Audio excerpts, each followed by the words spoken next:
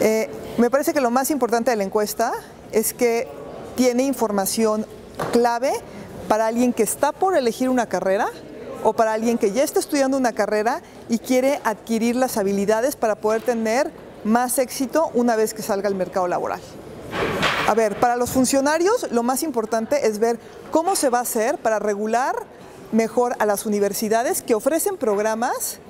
que no tienen la calidad suficiente. Y para las instituciones, creo que uno de los datos más importantes de la encuesta es que sabemos que uno de cada cuatro egresados eventualmente va a ser autoempleado. Entonces también ver si los programas están dotando a los estudiantes con las habilidades necesarias, no nada más para ser empleados, sino también para ser autoempleados.